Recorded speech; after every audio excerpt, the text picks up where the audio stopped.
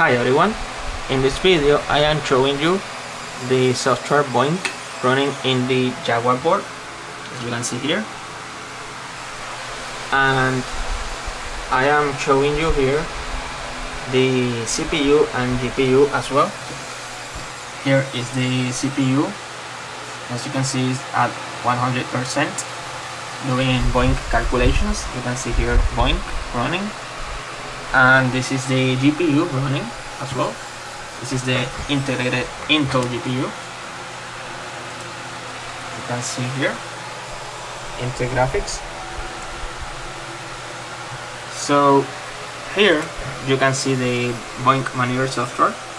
I am running here World Community Grid applications. This is the World Community Grid project the SETI at home project which is running on the GPU and some non-CPU intensive tasks.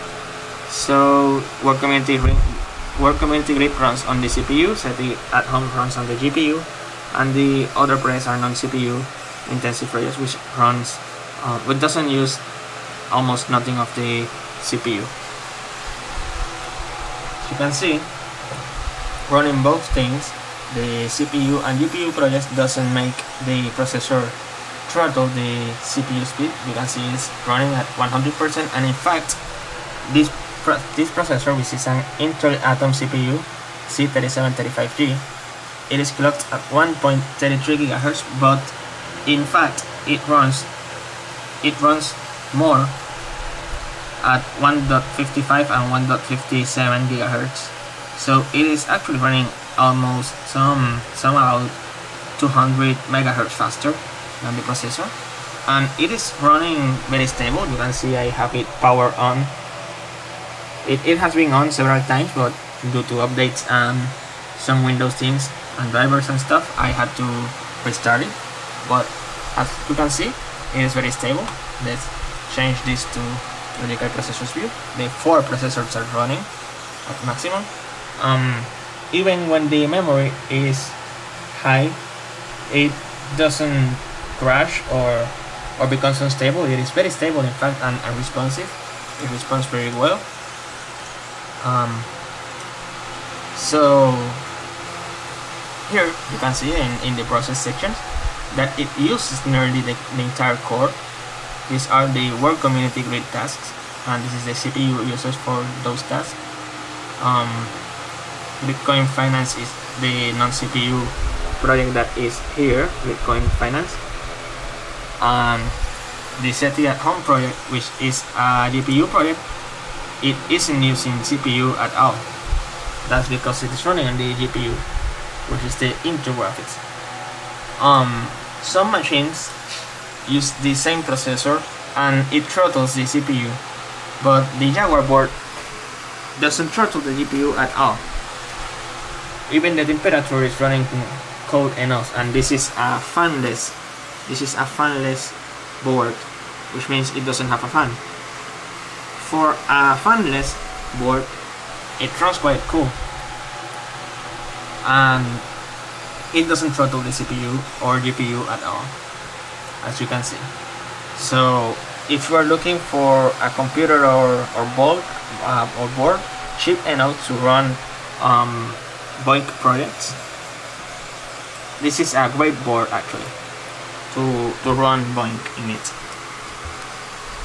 It is cheap, it only costs $50, 45 or $50 depending on um if well that that was if you were a backer in Kickstarter. Some backers got it at 45, um some got it at 50. I got it at 50 but um my bundle had the the USB hub included so so that that it doesn't cost um it isn't expensive. This is a, a very inexpensive board. You can get at jaguarboard.org and and use to crunch tasks. You see the the memory it got up but it it's still responsive. Um let's go here to test. Oh and this board only has 16 gigabyte of solid state. Well it's not actually solid state it's eMMC flash. But it's kind of like solid state so and it is pretty fast as well so it is a great board to do BOINC crunching.